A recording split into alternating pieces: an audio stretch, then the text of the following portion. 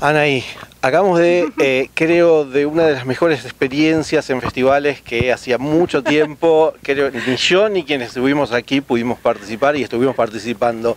Eh, contanos cómo, cómo, cómo, fue esta, la decisión de, realizar esta, este tarot, guion, tarot.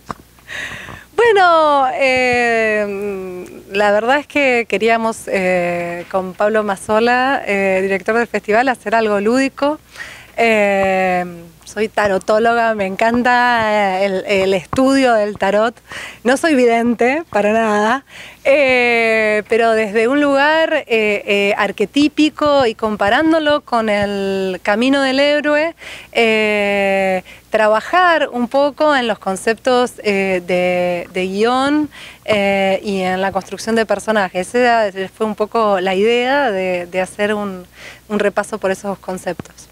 Bien, yo creo que, fue, eh, eh, no sé si ya lo habías hecho antes, pero la verdad que fue un, es un puntapié eh, muy más que interesante para, para quizás alguna de las clases, ¿sí? alguna, alguna tesis de alguien que necesite, esto creo que le dio, le dio algo.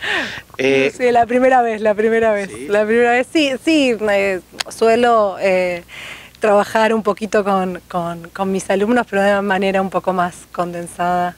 Eh, porque bueno, soy sí docente de guion en el ENERC y en el UNA. Bien, ¿cómo, ¿cómo fue la experiencia de recién? Y espero que buena, creo que hablé mucho eh, y no sé cuánto los apabullé, pero espero que, se haya entendido, por lo menos creo que nos divertimos, mucho interés. Bien, bueno, y ahora con respecto al festival, eh, llegaste hasta hace poco, pero bueno, ¿qué, cómo, ves el festival de, General Pico en La Pampa? Eh, ahora La Pampa y Pico tienen la, la Phil Commission también, que también es algo muy interesante e importante. Bueno, es, mi segunda vez en Pico, había estado en la primera edición y ya es la séptima. Eh, con dos años de pandemia, así que bueno, ver, es muy interesante cómo está creciendo, cómo, cómo crece el festival. La verdad, la propuesta es maravillosa y hay, se están dando películas que nada, que no pasaron por Buenos Aires y que uno no sabe si se van a estrenar o si las va a poder ver solo por una plataforma. A me parece que las salas deberían estar mucho más llenas, llenísimas, porque es una oportunidad. Eh, única, con una competencia de largometrajes argentinos inéditos, eh, Realmente es, es un lujo al que creo que nos hemos desacostumbrado y que no se le está dando el valor que merece.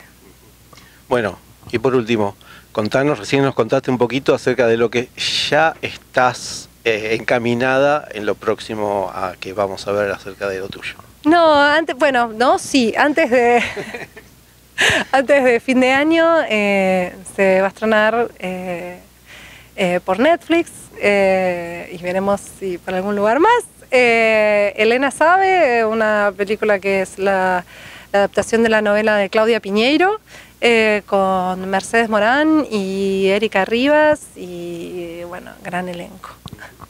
Vamos a esperarla entonces antes de fin de año para poder ver lo nuevo tuyo. Y no sé si después ya tenés algo más preparado en mente, pero más a futuro. Ahí estamos, ahí estamos, empezando de nuevo, saliendo al mundo. No, es que es fácil, digamos, hacer audiovisual aquí en Argentina. No es, que, no es que es fácil y creo que hay un cambio de época muy, muy, muy importante. Eh, está eh, mi sexta película, hacía siete años que no filmaba un largo, pero sí filmé tres series que son procesos mucho más largos. Eh, y bueno, nada, es, es, es, eh, es, un cambio interesante, eh, es un mundo distinto.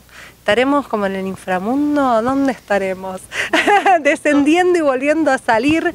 Yo creo en lo cíclico, sí, yo creo que sí que, el cine independiente no termina, eh, que, las, eh, que, el cine comercial tampoco, que tampoco las salas. Yo creo que, que, hay momentos que son cíclicos y mm, volveremos a hacer también cine independiente. seguimos agarrando de la cola de esta serpiente para volver a, salir y a dar la vuelta y seguir, seguir trabajando y laburando.